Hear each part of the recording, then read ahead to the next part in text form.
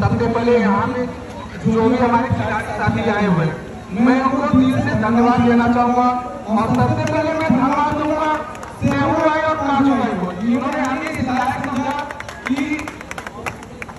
ये स्टेडियम में हमें उन्होंने बुलाया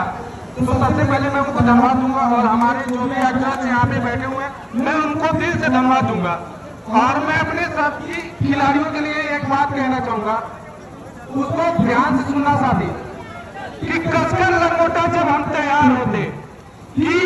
कसकर लंगोटा जब हम तैयार होते ठोकर ताल जब हम दुश्मन से सवार होते।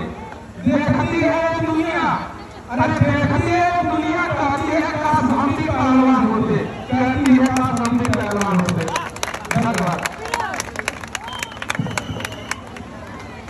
बहुत शुक्रिया धन साहब जो आपने अपने शब्दों से इस प्रकार खिलाड़ियों को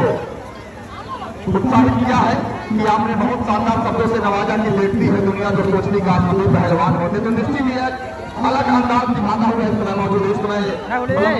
पूरे